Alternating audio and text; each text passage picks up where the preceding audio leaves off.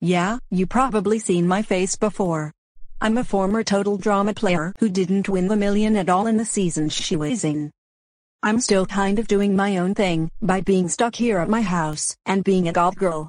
I won't be surprised if other goths compete with me, so I think I'm pretty confident with that.